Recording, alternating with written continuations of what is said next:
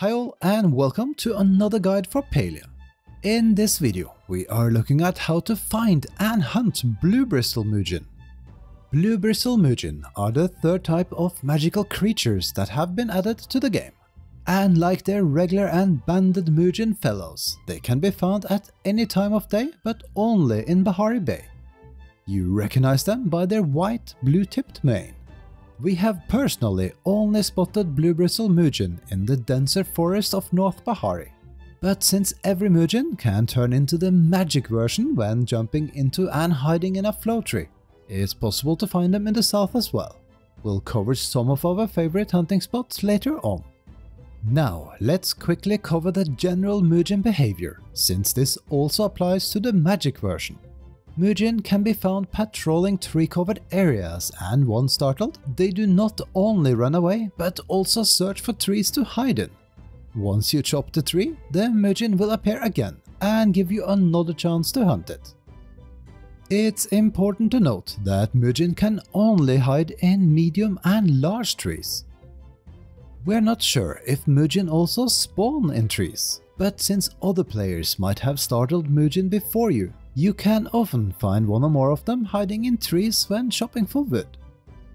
But back to the Blue Bristle Muujin, the magic cousin of this elusive creature. Like other magical creatures, Blue Bristle Muujin have a special ability, and that's turning invisible once they have been startled. As you can imagine, this makes the already quite annoying to hunt creature even more annoying to hunt.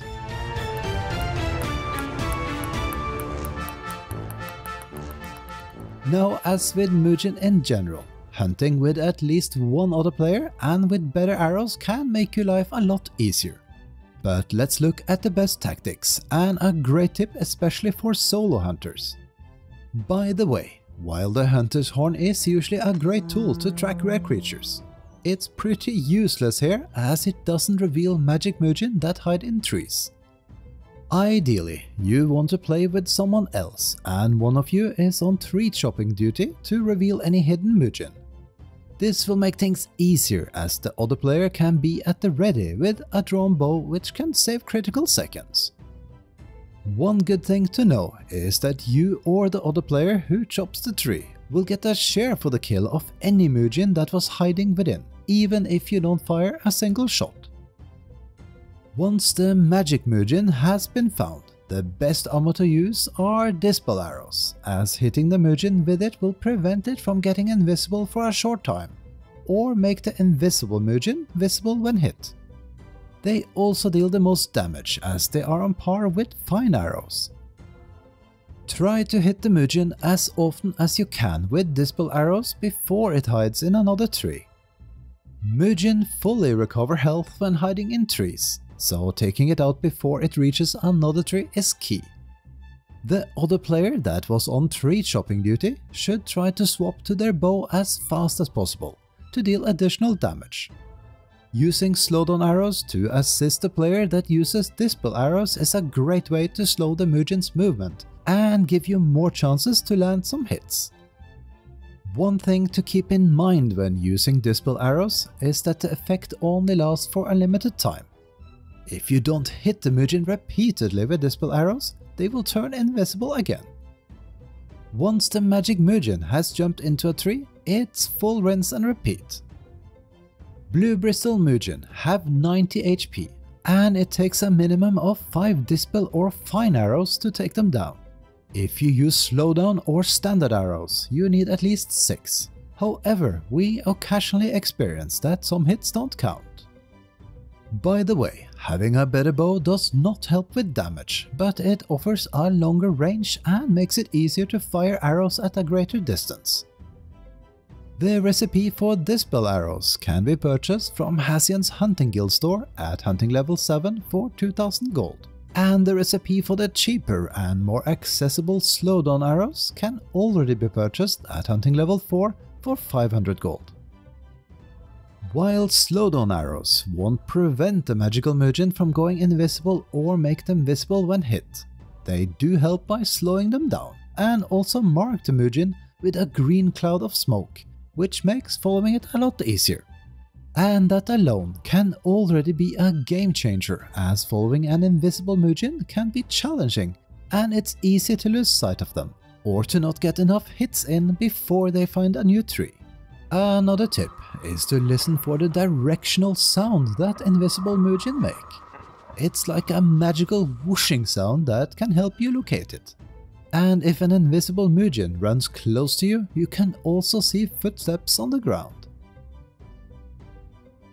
If you play alone, then using slowdown arrows is likely the better option. You will still be able to follow the invisible Muujin and if lucky, have more time to get all your hits in before it reaches a new tree. We suggest clearing some trees in the area where you located the Muujin and try to use the terrain to your advantage, which might allow you to steer it in a direction that gives you more time to shoot at it. Now, while Dispel and Slowdown arrows are certainly of great help, it's still very challenging and time consuming to hunt magical Muujin alone. Chopping trees, swapping tools and ammo, and keeping track of the Muujin can get very hectic. Now a great tip for solo players and everyone else. There's a way to take them down a lot easier if you're lucky, and that's at our favorite spots for hunting Muujin where we also find Blue Bristle Muujin the most reliably. That's here and here in the north of Bahari Bay.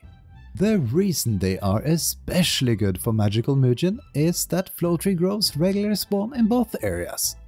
This is also where two perfect solo hunting spots are located. Let's check out the Thorny Thicket one first. As you can see here, there is a small platform with a few trees. The key here is that Muujin can't escape from it. The same goes for this spot, here, to the northwest of Statue Garden. It's even smaller and not as reliable as the first, but for solo hunters, both are worth checking out. There might be a few more areas like this around, but these are our favorite spots. If you find an isolated platform like this, begin by chopping all trees on it. Of course, you need to get lucky with either a magical Muujin that's already patrolling there or one that's hidden in a tree.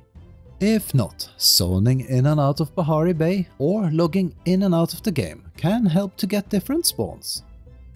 If you found one or more, when you chop down all the medium and large trees on the platform, it will prevent the Muujin from hiding again, and the isolated area prevents them from escaping. This allows you to take out all the Muujin at your own pace, either solo or with others. You can even use cheaper arrows without special effects, you will just need a few more of them. Try and hit the invisible Muujin by listening or following their invisible outline. This, of course, is also a great tactic for solo hunting Muujin in general, but it's particularly useful for the magic version, since the two locations shown often have flow groves as mentioned, and seeing chasing regular Muujin into flow trees turn them into blue bristle Muujin, we sometimes come across 5 to 6 magic Muujin in a single tree. If you hunt together with others and haven't chopped the trees the Muujin were hiding in, don't forget to land at least one hit or a miss in close range of them in order to get loot. Even if you're in a group, you won't get loot unless you participated in the hunt. Before we wrap up, let's quickly touch on two accomplishments that are related to Blue Bristle Muujin. The first one is called Muujin Hunter and requires you to have hunted all three types of Muujin regular, banded, and blue bristle. Once completed, you will get some renown, but most importantly, a mounted Muujin trophy that you can display in your home. The second accomplishment is a little bit more challenging. When hunting Blue Bristle Muujin, there's a chance for them to drop a Blue Bristle Muujin mane, and even rarer, a starred version of it.